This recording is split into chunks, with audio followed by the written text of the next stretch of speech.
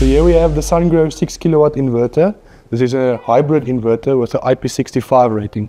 This inverter has two MPPTs inside, capable of 32 amps max, 16 amps per MPPT. You can also take up to 560 volts worth of PV panels. On the battery side, this inverter has an operating voltage between 80 volts and 460 volts high voltage DC, with a max amp rating of 30 amps.